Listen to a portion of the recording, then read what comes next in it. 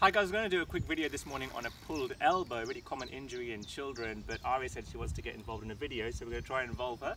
So pulled elbow, what's the other name for a pulled elbow, Ari, can you remember? Uh, um, nurse, um, Nursemaid's elbow, that's the other name. It's essentially subluxation or partial dislocation of the radial head, usually after a pulling injury. So if you get a history of someone being pulled as a child or they fall over, you're getting dislocation of that radial head. It causes pain, it's a clinical diagnosis. You don't usually need an x-ray, but what you do need to do is think about a coexisting ulnar fracture, which can happen. So you may need to do an x-ray to rule out other injuries, but classically it's an injury that doesn't need an x-ray. What's the typical age range?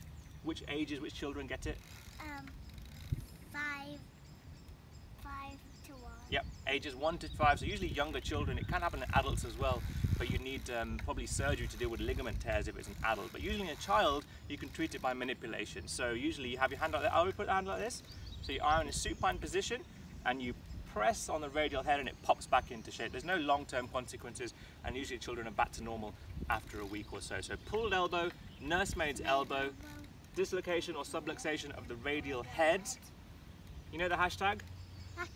Hash, hashtag compost will. Can pass, will pass. The other hashtag, I Went, Went with, with, with Arora. Arora.